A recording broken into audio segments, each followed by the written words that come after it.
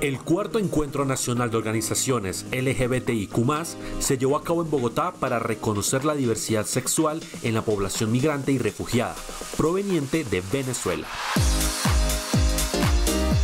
Uno de los motivos por que las personas de Venezuela están migrando hacia nuestro país es en razón del estado de salud.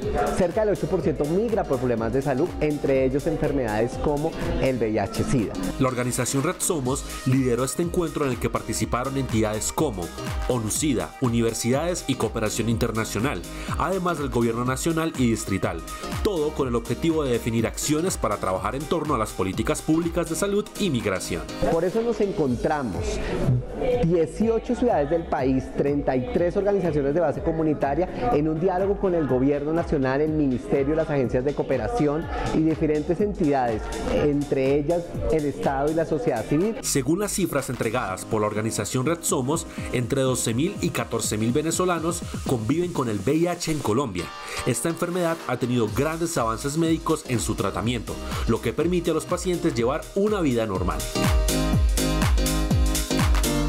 para definir una agenda que permita la atención integral, el aseguramiento y la entrega de tratamiento a los migrantes que viven con VIH. Temas como salud sexual, diversidad de género y pedagogía sobre las enfermedades de transmisión sexual fueron abordados por los asistentes. Pero solamente hay una atención de 5.000, por lo tanto un, un número de 10.000 personas que viven con VIH, que provienen de Venezuela, que no están siendo atendidas.